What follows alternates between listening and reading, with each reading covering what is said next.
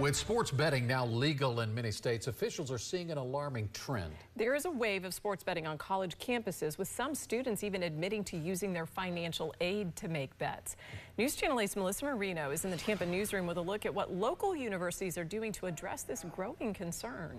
Keith and Jen, those who treat gambling addiction, they say this is such an easy trap to fall into, and college students are unfortunately very vulnerable.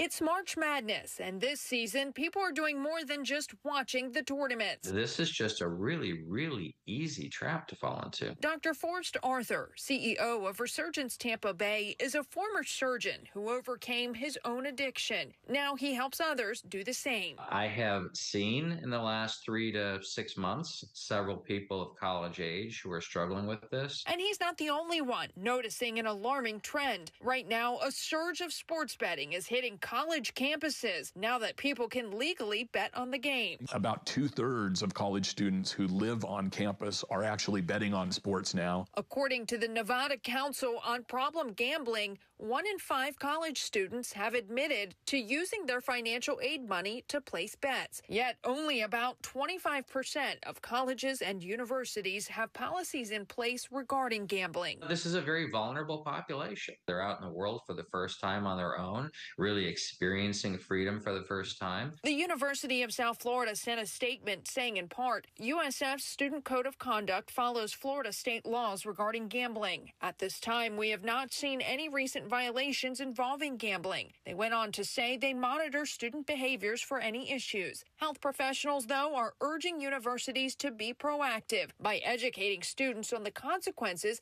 and signs of compulsive gambling. It's starting to cause you problems paying your bills or meeting your commitments. You're starting to miss classes or not do as well in school because of it. Uh, people who are close to you are noticing it. I also spoke with the University of Tampa and I learned UT does not have any current gambling policies. However, they pointed out the NCAA prohibits sports gambling for student athletes.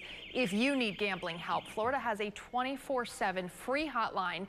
That number is 1-888-ADMIT-IT. In the Tampa newsroom, Melissa Marino, 8 on your side.